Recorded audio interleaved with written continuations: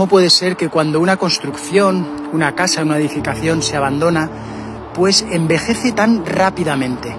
Fijaos, este restaurante abandonado lleva así pues ya muchos años totalmente sin señalizar, sin delimitar, totalmente abierto. Pongamos por ejemplo el tejado. El tejado es algo, la cubierta que nadie sube a cuidar directamente cuando alguien vive en su casa y es curioso ver, observar, lo veo en esas casas, cómo envejece por fuera a pasos agigantados. Y ya no solamente pues la construcción como tal, sino todo su entorno. Fijaos que esto es la vegetación, tenemos aquí todo este pinar y ya veis este pino aquí incluso cómo está. Y este otro. Pues vamos a verlo un poquito, no vamos a entrar del todo, nos vamos a mantener pues aquí en su zona segura. Este restaurante, su auge, en los años 70, finales de los 70 y los años 80, se abandonó ya hace pues unos 12, 13 años. Y cómo no, pues en estos lugares propicio para todo tipo de actos vandálicos. Ya veis, fijaos, en aquellos finales de los 70, qué entorno, todos estos ventanales, dos grandes salones totalmente acristalados y dando todo a este pinar, una auténtica pasada. Pero fijaos aquí el motivo del vídeo. Se llevaron estas vigas, fijaos que aquí había una viga maestra, la quitaron seguramente para llevársela para la chatarra. De hecho aquí hubo una, un accidente mortal ya hace unos años en la parte de atrás, precisamente motivo de esto.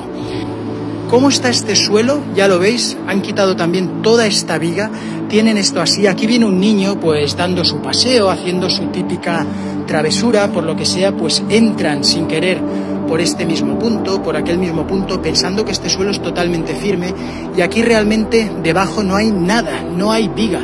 Esto está totalmente suspendido por gravedad y únicamente se sostiene por la parte de sus paredes. Por aquí lo vamos a ver. Vuelvo a repetir, analizamos bien dónde estamos entrando. Esto es zona segura porque tenemos la viga justamente se cortó esta viga de unos 8 metros hasta aquella viga de allá adelante.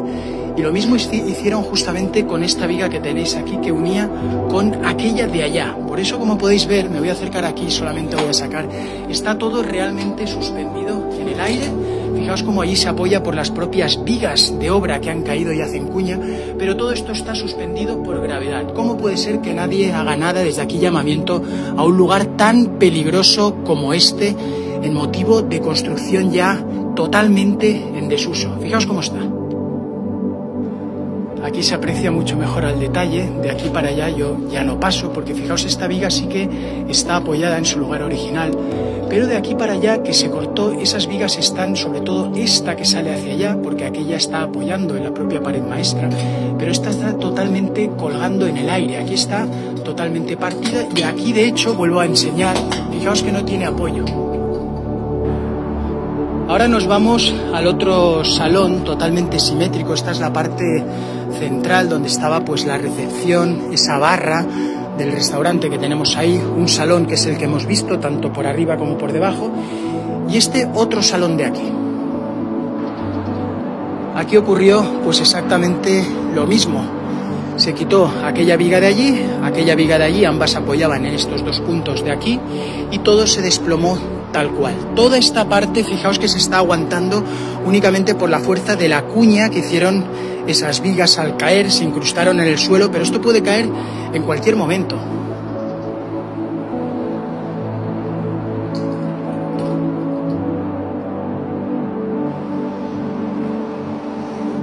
Y aquí pues bajo también y os lo enseño porque desde aquí se ve perfectamente, repito, sin necesidad de entrar a la zona peligrosa que es desde aquí hacia adentro. Fijaos, toda esa zona, pues ya colgando esa viga que se cortó, ocurre lo mismo que en el otro lugar.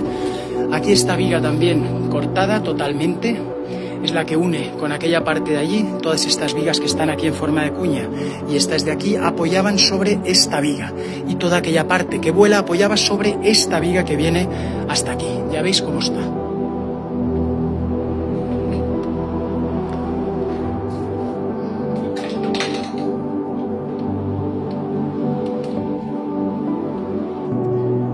Y aquí justo pues en la parte trasera, ya veis que esto se cayó hace también pues muchos años, Quedó sepultada una persona en todos los escombros al cortar una de las vigas. Falleció, pobre él. Pero lo que yo desde aquí llamamiento, pues por qué estos lugares siguen así tal cual los estáis viendo.